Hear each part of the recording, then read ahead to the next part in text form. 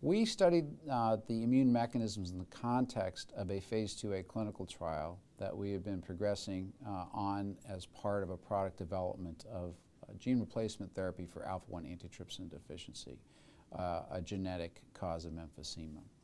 We have developed uh, adeno-associated virus uh, serotype 1 capsid uh, vectors that deliver a gene cassette that consists of AAV type 2 ITRs and a wild type or M allele of alpha 1 antitrypsin and progress through uh, a dose response of this vector and at the highest dose, uh, as shown in figure 1, uh, we saw expression levels that persisted uh, for uh, up to a year after a single intramuscular administration.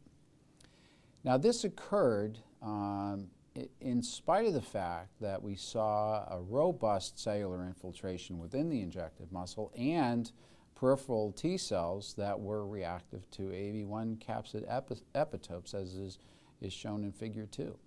Uh, so the question we were really trying to address mechanistically was how was this uh, able to uh, go on? How was this, how were the myocytes able to continually express uh, alpha-1 antitrypsin for such a long time, uh, even in the face of a T cell response and the presence of those infiltrating cells. We suspected that there was a Treg response at play here because we had persistent expression at a year in the face of cellular infiltrates in the muscle biopsies. So we characterized the muscle biopsies for regulatory T cell markers, including CD4, CD25, and FOXP3. And we found that the muscle actually had these Tregs in them.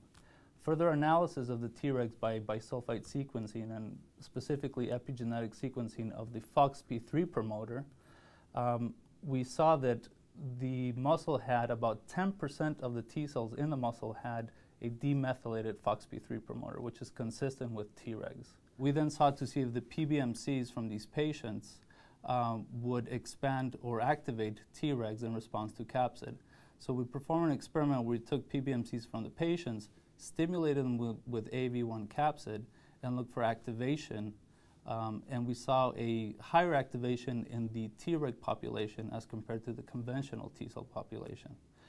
Um, and this was all surprising um, because to this date no one had really um, analyzed Tregs in response to AAV capsid.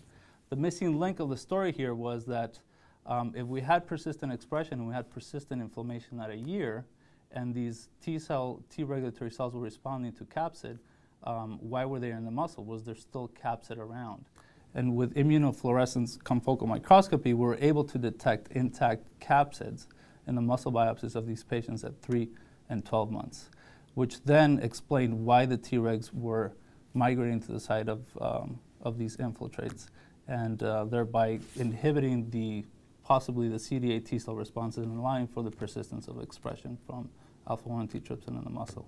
These studies showed that, uh, much to our surprise, the AAV capsid uh, antigen was retained out to one year after an intramuscular injection. Not at all what we had expected, although similar to what has been observed in some animal models at, of injection of AAV at other sites and that this persistent AAV capsid was eliciting a, a, an immune response characterized by a predominance of T regulatory cells. That causing those Treg cells then to home back to the injected muscle and apparently enable the persistence of vector expression for a long period of time.